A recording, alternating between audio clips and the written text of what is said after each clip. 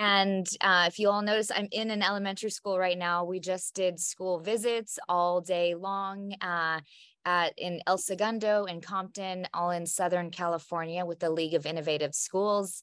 So it was great to be here all day. I'm so energized after seeing such really powerful learning. And I kept thinking about you all all day and what I wanted to share um, as I was visiting all of these. Um, all of these classrooms. So it was really fun to see your comments throughout the week and some of the things that resonated last week. Uh, and we're going to dive into the the powerful learning experiences this week. So um, part two um, part two is really about i was looking at ben's learning about neurosequential model in education. Wow i love it. Um, we're going to focus today on how we can create the most impactful learning experiences and we know that starts with the science of learning and how we how we really how our bodies and minds um, really interact when we engage in powerful learning and how we can design those um, in our classrooms how we can think about more um, competency based, purposeful, authentic, and empowering learning experiences. And what I want to just start off with here today is this idea that in each of these chapters again i start off with um, the learning experiences and the and the learning sciences but intentionally i really separated and tried to really get clear on competency based, personalized learning, authentic, empowering learning. A lot of times I see it's one or the other. Um, and what I mean by that, there's different frameworks that are personalized and competency based, and the authenticity is missing. Or sometimes there's great projects, they're really authentic and based in the real world, but the the deep skill building is missing. And so when we think about these really rich, authentic um, learner centered experiences, they include both of them and often leverage technology in the most powerful ways to not replace the teacher, not just to drill and kill, but to allow students to navigate their path.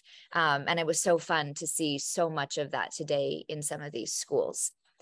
So as we as we dive in, um, I, I have this model that is in the book that is really the school centered idea. And if you see these images, it's really about um, if you think about a traditional school centered paradigm, which we're constantly trying to fight, right? That's what our structures are set up for.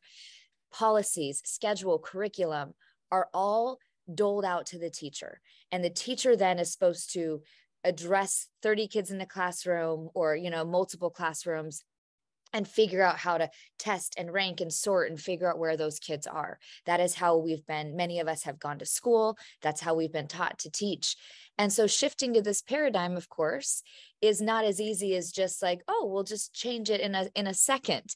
It takes really intentional thinking about how to redesign systems.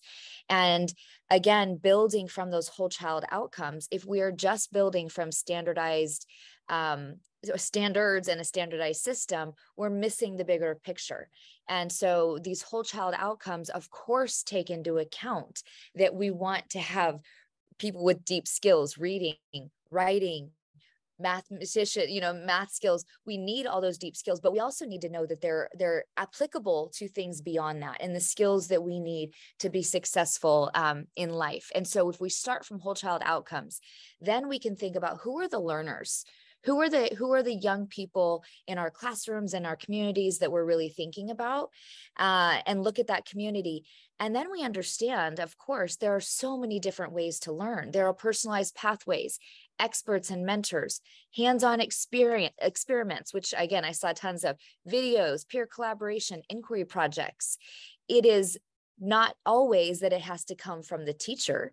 The teacher doesn't always have to be the one sharing the information, guiding the instruction, giving the lecture, but they can be there facilitating, supporting, um, and and really pushing students so that you focus on the demonstration of learning and that mastery um, of those outcomes. So that's kind of the focus today. And I um, love to share different examples uh, of what's happening all across our schools. And so one of my favorite this is the one i started the um, chapter six with or i'm sorry chapter five uh, the the to focus on the uh, science of learning. And salad wars although this happened in Encinitas, California, it's an it's an example of an authentic project that could happen in any community when you think about the resources the context. But the power of this project was that it really was able to bring in students interests collaboration. They had to make something. They had to get authentic feedback. They were learning about water, they were learning about healthy nutrition, they were cooking and creating something, which so many of our students talk about loving to do. They want to learn how to cook, they want to learn about, you know, financial literacy, they want to learn about these real world skills that they know are going to help them be successful in life. And so when you think about these projects, being able to read, write, communicate, design something, these critical skills were put together in this project where students had to create that salad dressing.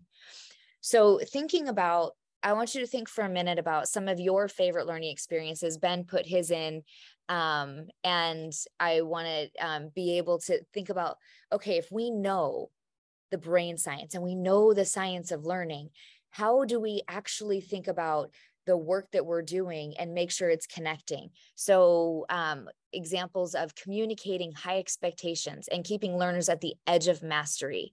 Um, students learn when they feel connected. Um, thinking about the environment, right? Being able to work outside, inside, having the space that's conducive to learning, so powerful. Um, learning is a process that involves effort, mistake, reflection, and refinement of strategies.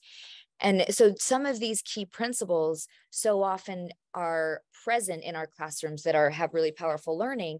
And when we don't have these principles, we start to wonder, okay, where, where are we missing some of these things? Am I not giving feedback? Am I not allowing for students to practice and demonstrate? Are they not having opportunities to collaborate with one another? So as you think about what works and what doesn't, really anchoring on the science of learning, rather than this is the way we've always done it right? You know we've heard it we've we've sometimes said it.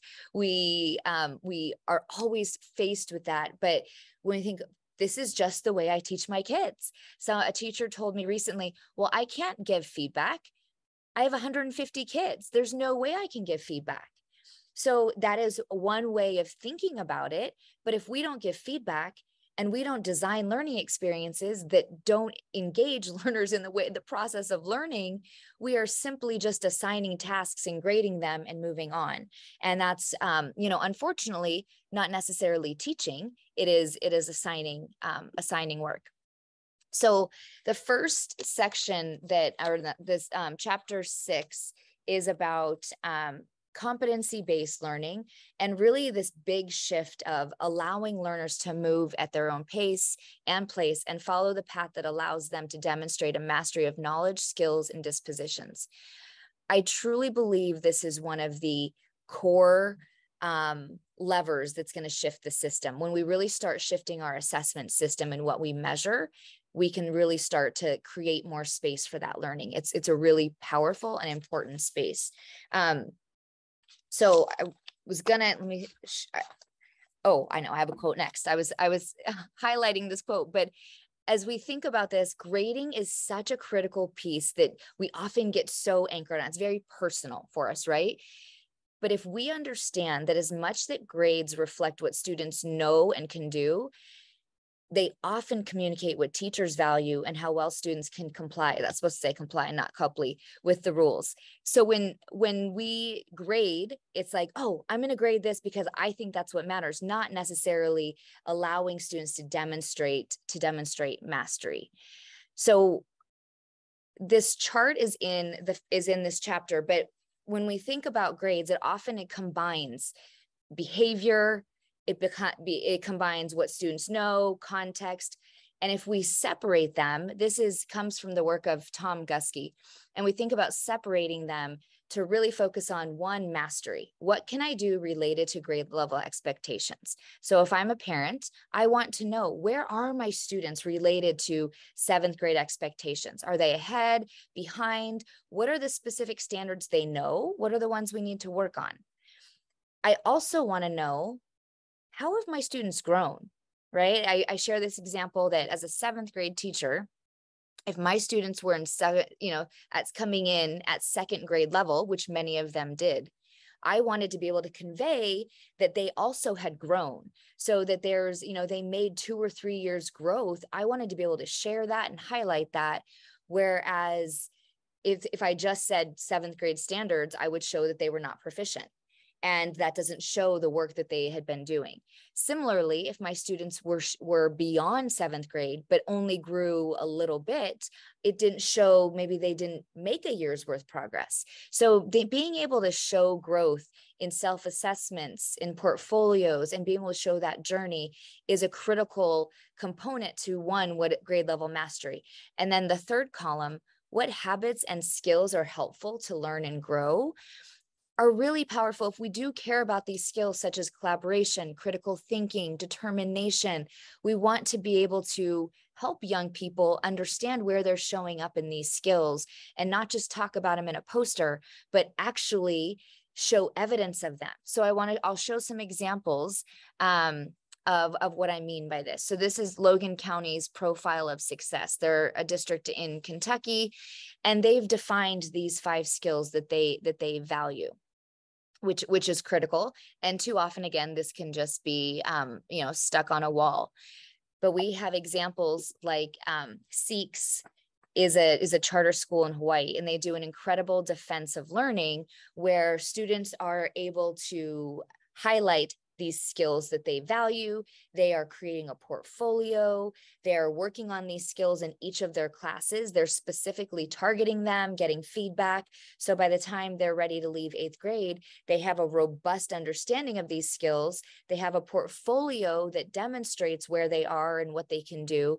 And then they defend their learning to their peers, to um, parents to also and also to their teachers and they're able to to really see their growth process through this but they also communicate to the entire community that it's not just i got an a in math it's that i can reason effectively i can think critically and i can demonstrate these skills in a variety of ways.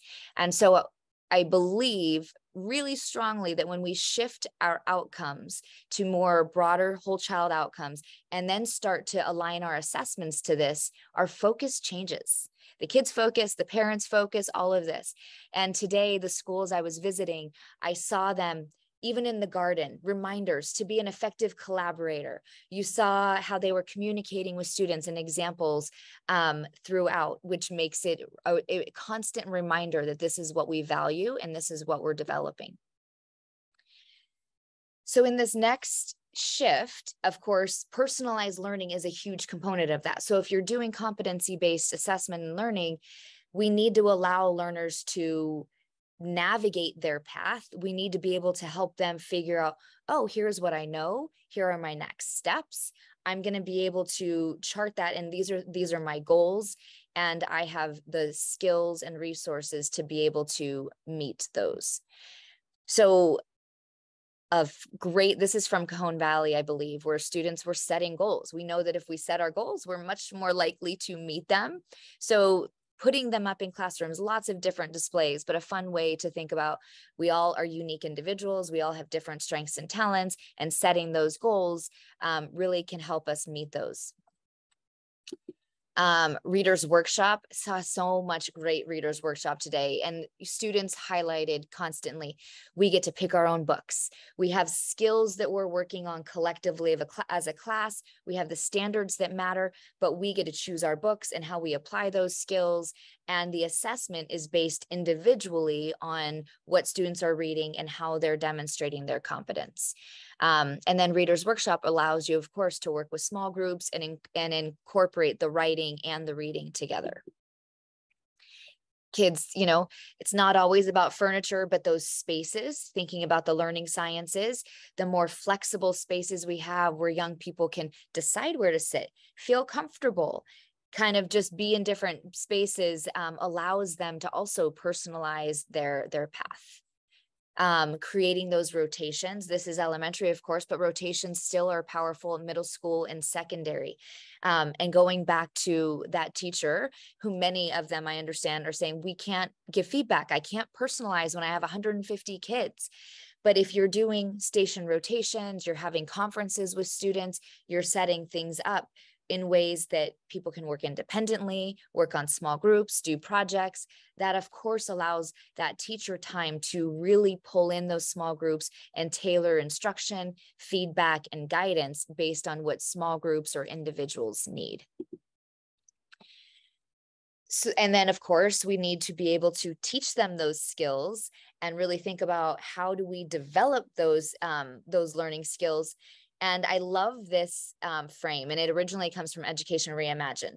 The idea that we typically have is learners must be compelled to learn, right? Come in, we have to make you sit down, we have to force you to do your bell ringer, we have to, you know, give you all these carrots to do your work instead of thinking about we love to learn learning is powerful and and when we create those environments learners want to learn uh, and so in some of that, this is the example I gave about my daughter Abby in um, in this chapter where she was learning how to bake. And I am not a baker. I do not like to cook.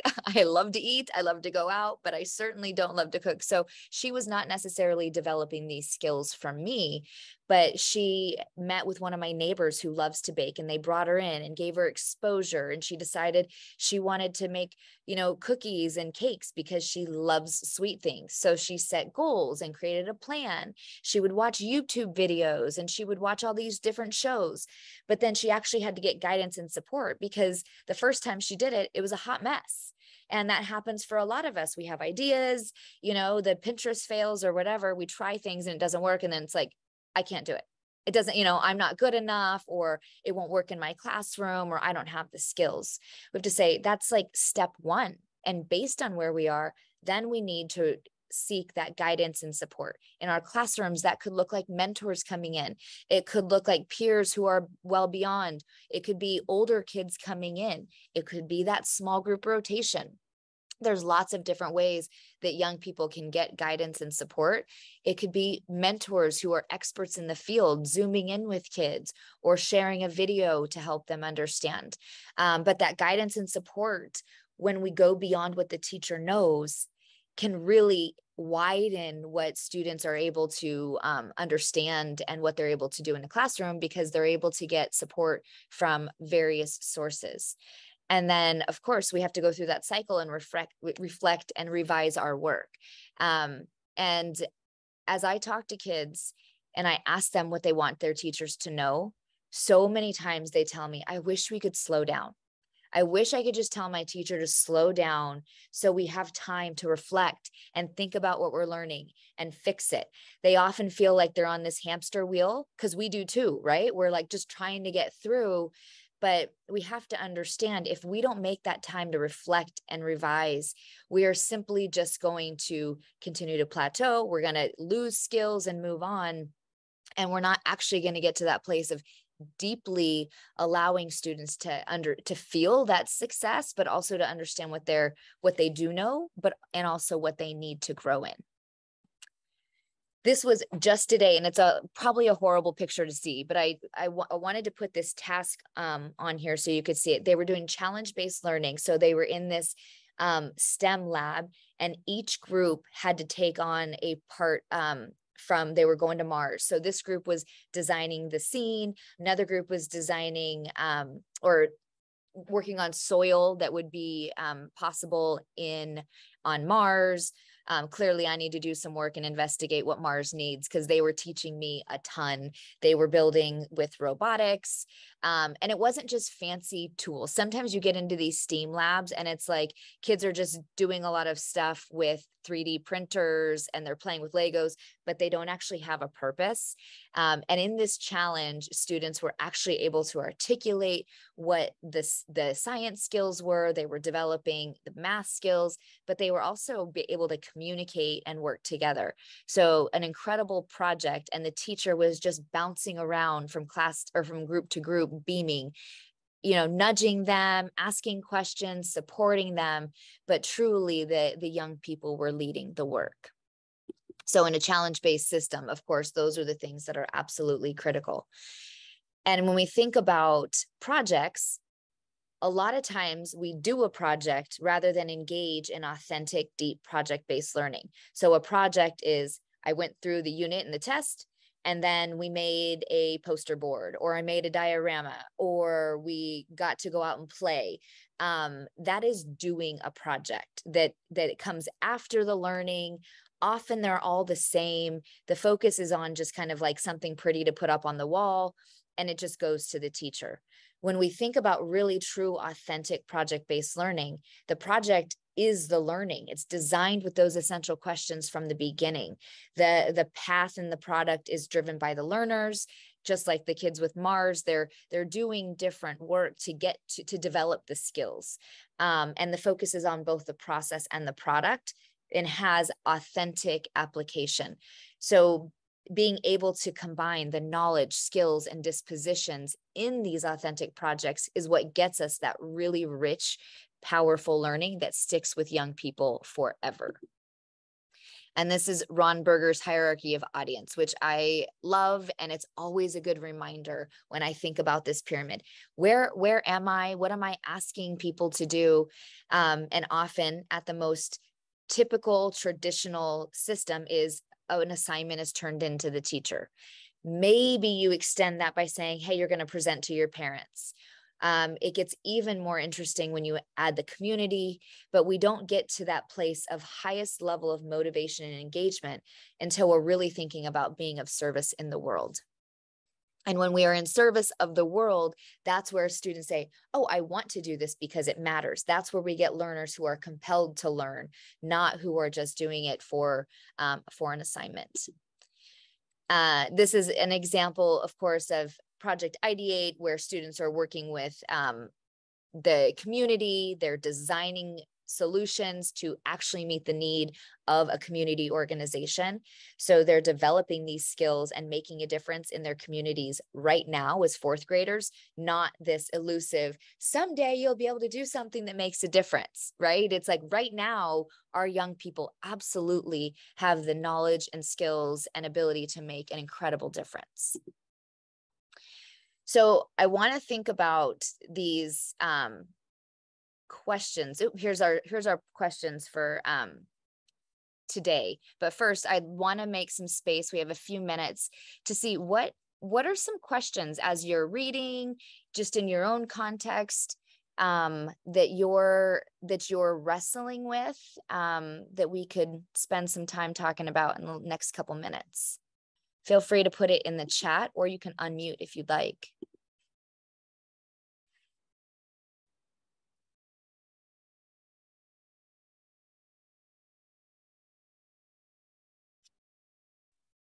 Uh, so question I had, I had a conversation with my kids after looking at some data from like the first part of their projects that they're all working on. And we just finished like the research phase.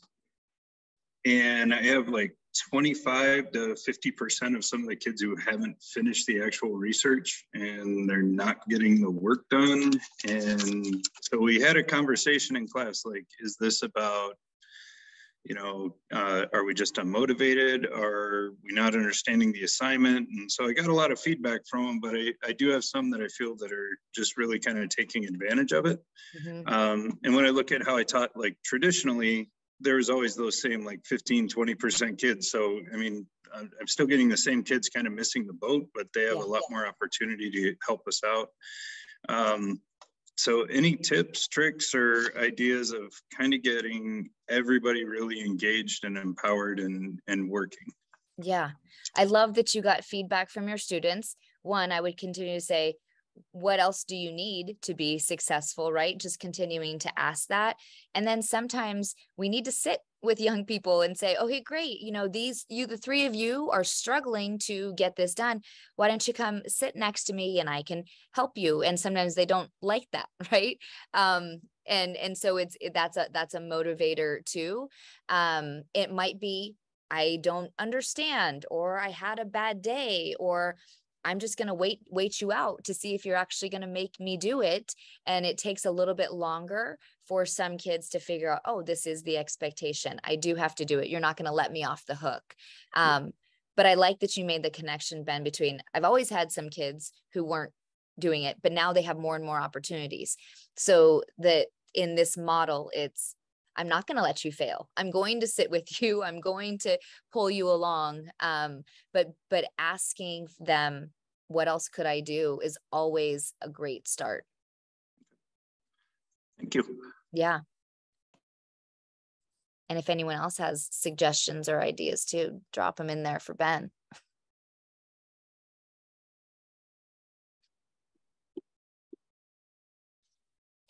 Any other questions? Well, so, sort of a question, um, but it's how to get teachers to think about changing their practices so that they have time to listen to students because, right, if teachers are doing all the talking all the time, then they're really not learning anything about their students and their students' needs. So. Yeah. So, um, great question. It's like I saw Kim laugh, right? Like the question of the century. How do we just flip a switch and get all their teachers to change practice? Um, I like to say teachers create what they experience. So, one, I think you have to reflect and think about um, how you know their professional development their experiences as a learner to think about what have they experienced have they experienced coming to a room or a staff meeting? And the principal telling you know talking to them for 45 minutes about what they need to do and giving them very little time to talk and collaborate. Um, so that's step one is kind of reflecting on how are we designing the professional learning for educators and what are those opportunities for them to do it? Um, and then also creating those experiences making sure that there's an experience where the teachers are the learners who are engaging grappling struggling with their learning and and figuring out how to to use those strategies in their own practice. Uh, and then another one is coaching right? So we can create these opportunities we can read the research we can say that this is really powerful but if we don't get in the classrooms and coach teachers and point out um, hey there was 45 minutes of your talk time today. Your students had five five minutes to talk. Or why don't you you know think about here's a strategy that you could use to shift that dynamic. Uh, i wish it was overnight but it, it is often not. It's it's a lot of experience coaching wrestling with what it means to be an effective teacher and understanding that's not just about doing all the talking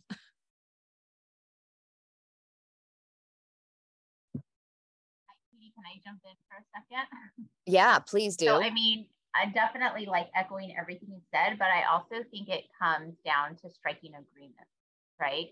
Um, for example, some things that we've been working on here at my school. I'm in uh, Ventura County in California at a one school school district, TK through eighth grade. Uh, we have a little less than 600 kiddos.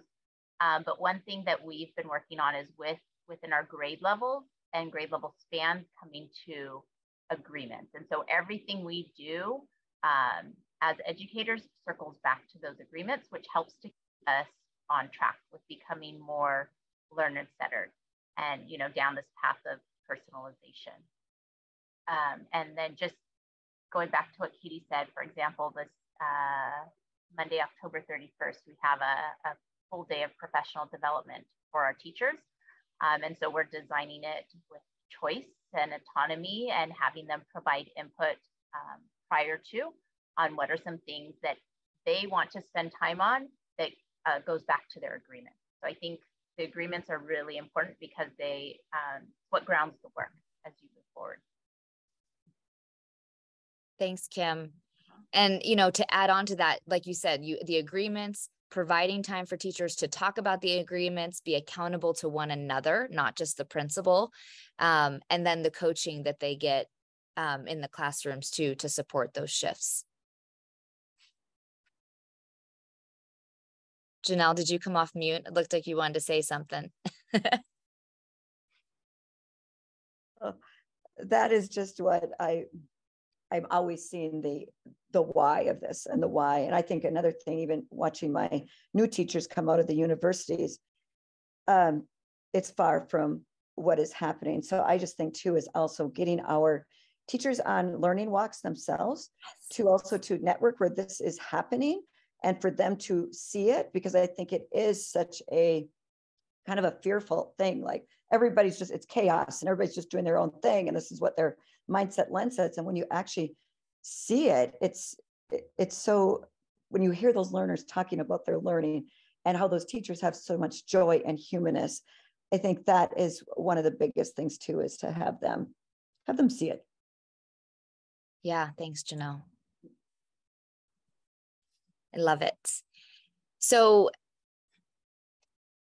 I started this year asking my class if they wanted to play school or engage in authentic learning. Ben, say more about that. I love it. What'd they say? Okay, so I came in like four weeks after the school year started, so I was already in a tough position. Um, and I couldn't, I, I just, I can't do the CAN curriculum and all that, that crap anymore.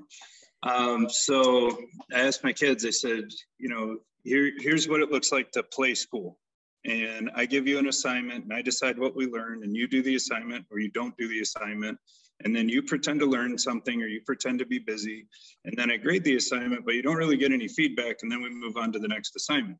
And that's how our school year goes. Uh, and then we take the standardized test and none of us really passed except for the ones who are going to pass when they walked in on the first day.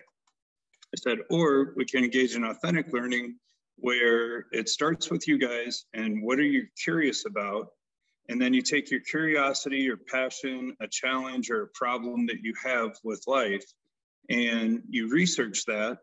And then you come up with an idea of maybe how to fix that and learn about it. And then you try it, and your first draft is always going to suck. And so we just accept that right from the beginning and we put it out there. And then you build towards expertise because you keep practicing and practicing. And some of your projects are going to take all year, and some of them are going to take two months and, and we just roll with it but as long as we're working and we're learning and everybody's going at their own pace then that's how we'll measure success. And so they all just looked at me like i had two heads. And and then they said well how how are you going to get away from doing the curriculum? All teachers are required to teach springboard. And i said well you let me worry about that and if they want to fire me there's a teacher shortage so go for it. And um, and we did it and then like it kind of caught on and now i've got all these kids doing like i have 150 kids who i give individual feedback to all the time. And they're doing these amazing really cool projects. I mean I, I still have my kids who are lost but we're getting them found and getting them caught up. And and i have time and space now to actually give them the individual attention they need. So I mean, we've really gone for it. And then, like I told him, I said, you know, I've taught as a traditional teacher for the last 20 years, and it and it just kind of sucks, and it's soul sucking, and it's no fun anymore. And so I said, this is this is my project for the year, is to do this and to teach this way. I said, but I'm sorry for you guys. You're my first year. It's gonna suck. I'm going to suck at it. I'm going to make a lot of mistakes. It's going to be messy. So give me a bunch of feedback and help me get better. I love that, Ben. What a model for so many of us to just dive in and learn. Um, and I love that you talk to your students about it. And like you said, this is your project, very authentic learning. We're all constantly learning and evolving.